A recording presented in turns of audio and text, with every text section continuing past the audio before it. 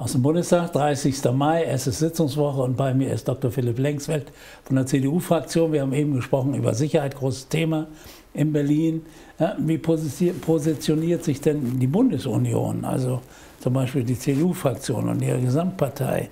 in diesem Punkt? Na, das ist, äh, das ist äh, auf Bundesebene natürlich auch ein, äh, ein großes Thema und ich, der, der Bundesinnenminister und auch unsere AG-Fach Abgeordneten, für die ist es ein sehr, sehr großes Thema. Ähm, und da sind wir im permanenten Diskurs mit unserem Koalitionspartner und der Opposition. Alle stehen alle links von uns und wir haben immer wieder, müssen, wir da, müssen wir da drängeln und müssen wir da nachstellen. Ich bin jetzt nicht der zuständige Fachabgeordnete, aber ich weiß, dass bei jeder Thematik immer diesen, immer äh, sind wir eigentlich immer die Drängelnden und die anderen eigentlich im, in der Regel die Bremser. Ja. Und Sie drängeln ganz massiv und es ist uns, es ist uns ein, ein, ein, es ist ein Kernthema äh, für unsere Partei und ich, ich, ich, habe auch das starke Gefühl, dass es, äh, dass es leider, muss man ein Stück weit sagen, jetzt auch ein ein Kernthema äh, äh, für die Bevölkerung wird. Ja. Ja, also die, wir haben, äh, nehmen wir doch mal äh, den Karneval der Kulturen. Ich meine, das ist, äh, es ist ja glücklicherweise von der Dimension ähm, äh, jetzt, glaube ich, nicht so, so groß gewesen.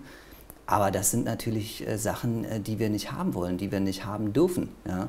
Ich bin da ein Stück weit selber ähm, betroffen gewesen. Meine, meine eigene Tochter ist zum Karneval der Kulturen gegangen.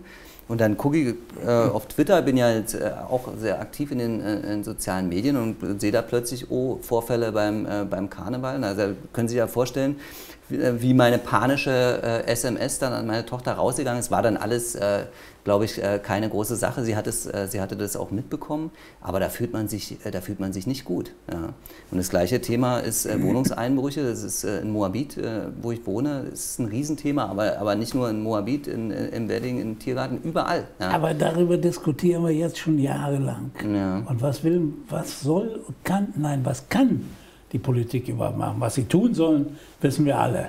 Aber was kann sie überhaupt tun? Ja gut, also die, äh, die, die gesetzlichen Rahmenbedingungen und, und die großen politischen Linien, da kommen wir ja auch ein bisschen zu einer, äh, zu einer Bundesdiskussion. Ähm, Thema Grenzsicherung, Thema Grenzkontrollen, äh, da gibt es ja schon unterschiedliche Ansätze. Ja, da gibt es ja schon so die Fraktion, die sagt, ja, na, Grenzen kann man nicht sichern oder, oder heutzutage äh, sind bestimmte Dinge so, die, wie sie, äh, da kann man eben nichts machen und da sage ich schon, also zu denen gehöre ich jetzt nicht. Ja, also man kann da, immer was machen. Da, äh, man muss ja genau hingucken und wenn wir jetzt eben äh, äh, einen massiven Missbrauch des Asyls äh, von georgischen äh, äh, kriminellen Banden haben, die organisierten. Ist das so? das liest man in der Zeitung und ähm, das scheint ein, ein, ein, echtes Thema zu sein. Dann müssen wir uns um solche Fragen kümmern. Da dürfen wir nicht weggucken. Und das ist die Diskussion, die wir auf Bundesebene führen. Und äh, wir können nicht alles äh, machen, das ist überhaupt vollkommen klar. Es gibt keine absolute Sicherheit, es, ist, äh, es gibt auch eine Eigenverantwortung, alle diese Dinge sind, sind unbestritten. Aber man kann natürlich schon an den Rahmenbedingungen, ähm, ähm, da gibt es schon äh, deutliche Unterschiede in, in, der Ausgestaltung.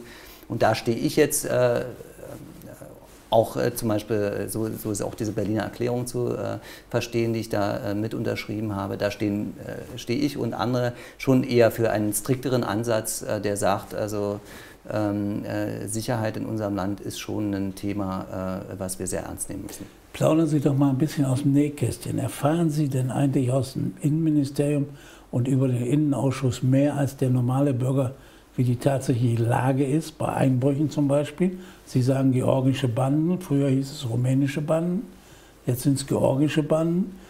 Also äh, wie gesagt, ich muss ja nochmal wiederholen, ich bin, äh, ich bin jetzt nicht in dem zuständigen äh, Fachausschuss. Ähm, und insofern bekomme ich dann die Sachen mit, die der Innenminister in der Fraktion äh, sagt. Ähm, und viele Informationen sind aber auch die Sachen, die man, die man auch in der Zeitung lesen kann. Natürlich kriegt man immer im, im Parlament ein Stück weit äh, mehr mit. Andererseits sind, äh, sind unsere Abläufe auch relativ formalisiert. Ähm, ja, also insofern sind, ist man mit einem guten äh, Zeitungsstudium, viele Sachen werden ja auch durchgestochen, äh, manchmal äh, aus, den, aus den... Sie werden den Journalisten gegeben, ja. nennt man Durchstechen. Also ich sage mal, mein Eindruck ist schon, dass, dass, dass, dass, dass man diese Dinge durchaus auch wahrnehmen kann. Man muss aber natürlich auch danach gucken. Ja, man muss auch immer abwägen, was bedeutet persönliche Freiheit für mich mhm. und Schutz meines Eigentums. Mhm. Absolut. Ja? Und die Diskussion es ist immer, es ist immer eine ewig führen. Natürlich. Kommen wir mal zu Berlin. In diesem Wahlkreis und in ganz Berlin wird am 18. September gewählt. CDU Ihre Partei liegt bei den Umfragen ziemlich bei 20 Prozent. Also die, ja. äh, wir, es, ist eine, es, ist eine, es ist eine Herausforderung, ist überhaupt keine Frage, aber es, äh, äh, es sind auch äh, erhebliche Risiken drin. Aber ich sage mal, es ist alles möglich. Wenn Sie genau hingucken, dann liegen praktisch alle Parteien um die 20, 22, 23 Prozent. Also auch unser, äh, äh, unser Partner, die SPD, ist ja in absoluter Schlagdistanz. Ähm, die anderen Parteien umgekehrt äh, äh sitzen uns aber auch ein Stück weit im Nacken. Ja? Also es gibt auch eine ziemliche Varianz in den, in den mhm. Umfragen. Die AfD-Zahlen zum Beispiel variieren sehr stark. Ähm, ich schlussfolgere daraus, dass äh, das alles möglich ist äh, und dass es letztendlich darauf ankommt, was jetzt in den vier Monaten, was insbesondere dann auch in der, in der Zeit nach, ähm, nach den Ferien äh, passiert. Und ich sehe das ähm, als, äh, als, als Auftrag, als Herausforderung, aber als Chance auch äh, für, für die CDU Berlin, für Frank Henkel, ähm, dass wir ähm, ein Angebot an die Stadt machen, was am Ende äh, die Wählerinnen und Wähler äh, so weit überzeugt, dass, äh, dass wir ähm, so stark werden, dass, äh, dass, dass, dass an uns nicht vorbei regiert werden kann. Und das halte ich für die absolut richtige Linie. Alles ist offen, haben Sie gesagt. Auch CDU Grün? Ja, das, äh, ich würde da nicht äh, äh, rumspekulieren. Wir schließen äh, diese Sachen sicherlich nicht aus. Wäre ja auch verrückt, meine, wenn wir in, in Baden-Württemberg, was ja nun wirklich eine, eine, eine, eine historische Wasserscheide war, ähm, zum, zum Wohle des Landes, gemäß des Ergebnisses, was wir nun garantiert so nicht replizieren mhm. wollen, sogar als Juniorpartner eingestiegen sind. Ähm, die Grünen äh, haben eine ziemlich große Herausforderung. Denn wenn ich mir jetzt meine wieder, ich will jetzt nicht wieder das Thema Sicherheit hochziehen, aber das ist ja doch ein, eine ganz äh, interessante Geschichte. Wir haben eine Attacke gehabt hier in Mitte eine linksradikale Attacke auf, äh, auf Neubauten.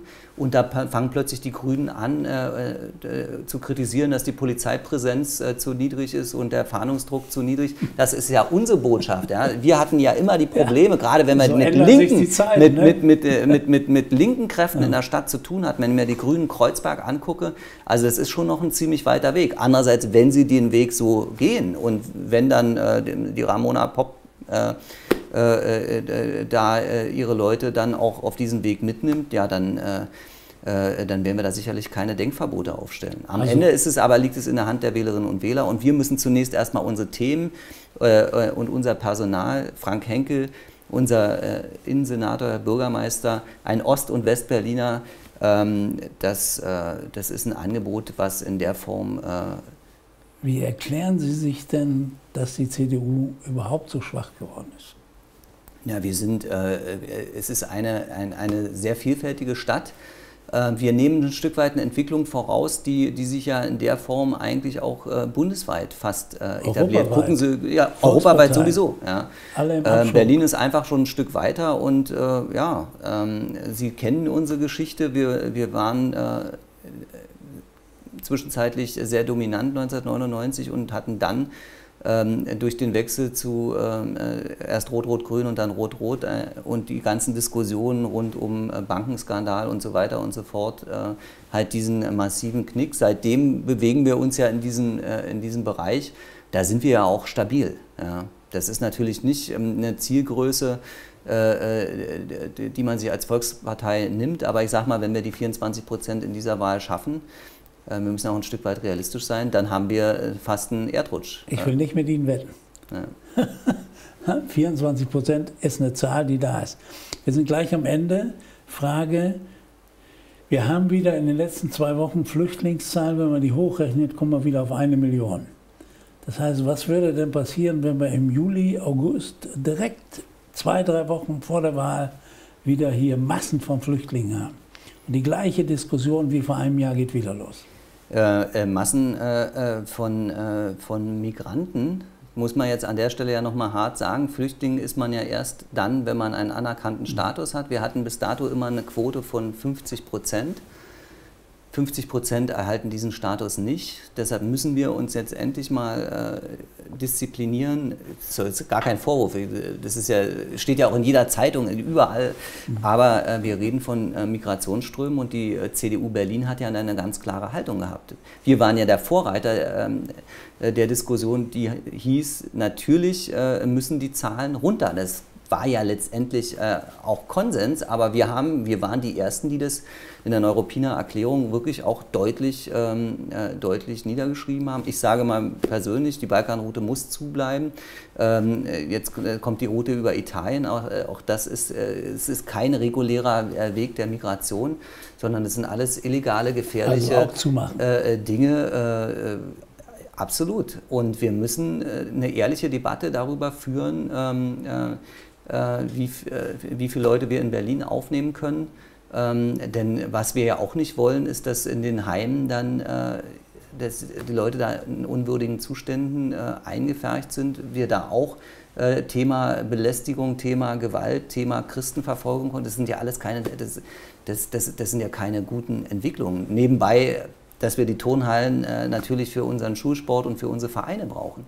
Insofern, wenn es denn jetzt tatsächlich wieder zu einem äh, starken Anstieg käme, dann hätten wir harte Diskussionen, aber ich würde sagen, die CDU Berlin äh, hat da eigentlich äh, sehr klare Antworten äh, schon letztes Jahr formuliert und äh, wir sind da eigentlich gut darauf vorbereitet. Dann hoffen wir mal, dass die Antworten weiterhin stichhaltig bleiben und dass alles gut geht und die CDU dann bei 24 Prozent plus liegt. Aber bis dahin treffen wir uns noch ein paar Mal. Herzlichen Dank, Vielen Dr. Dank. Philipp Lengsfeld, ja. Abgeordneter CDU, Wahlkreis Mitte. Das sehen Sie hier hinter uns und ich bedanke mich bei Ihnen, dass Sie zugeschaut haben. Wir sehen uns nächste Woche Montag wieder, wie immer aus dem Bundestag, 20.15 Uhr auf TV Berlin.